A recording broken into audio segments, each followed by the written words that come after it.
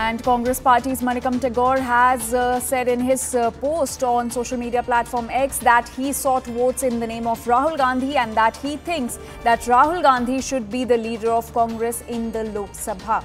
So this is the latest input that is coming in that Congress Party's Manickam Tagore has said that Rahul Gandhi should be the leader of Congress in the Lok Sabha and he has also said that uh, he, he hopes that other elected Congress MPs also think the same. Pallavi Ghosh continues to stay with us. Pallavi, uh, this reaction coming in from Manickam Tagore who has said that he sought votes in the name of Rahul Gandhi and that is why he should be the leader of Congress in the Lok Sabha.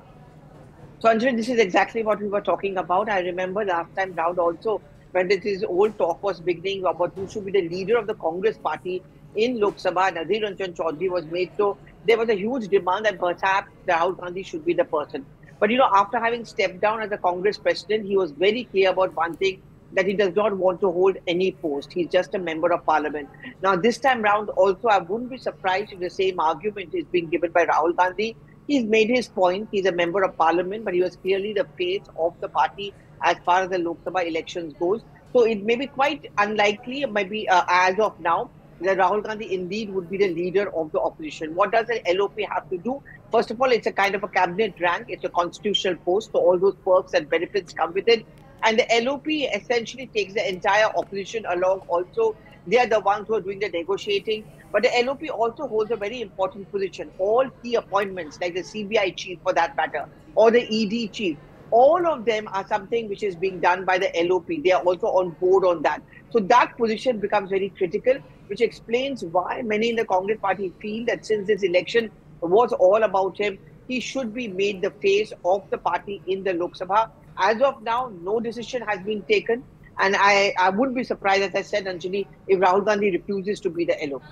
Right, Pallavi, thank you so much for getting us all those details. And uh, let's take a look at some more political reactions on the story. Resounding victory for you and the party.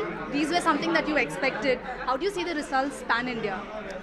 No, definitely, uh, it's a clear mandate uh, which says that uh, BJP's uh, divisive politics and uh, uh, the politics of creating fear in the minds of people is not acceptable, and people want development, growth, employment, and you know actual changes on the ground. So that is uh, uh, very clearly, you know, uh, coming through through this in these elections.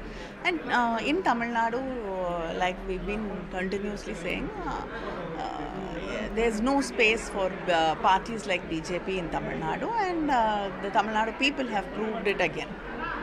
Today, crucial meeting in the national capital India bloc. Are you confident that you'll? Uh, is it what people want? A change at the center?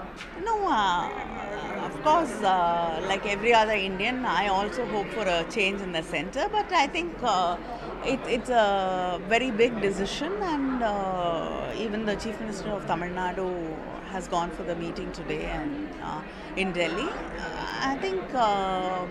Um, all the uh, leaders of the India Alliance will be meeting today and making decisions about what the future course is going to be. So I think it will be decided only in the evening. Now that almost 30 seats have come to the MVA kitty, the fact that, uh, you know, the BJP has won fewer seats than the Congress in Maharashtra. Eknath Shinde Shiv Sena has won fewer seats than Uddhav Thackeray's Shiv Sena. Do you think that the battle for inheritance is finally over and the politics of breakaway parties has been responded to by the people? Yes, absolutely. That is the judiciary, that is the court. Honorable Uddhavji used to say that with the court is not giving justice, I come into the court of the people. And people courts have given the verdict that the Shiv Sena Uddhav Balasaheb Thackeray is the true Shiv Sena. That's all. It's so, the Asli Shiv Sena, you can say now.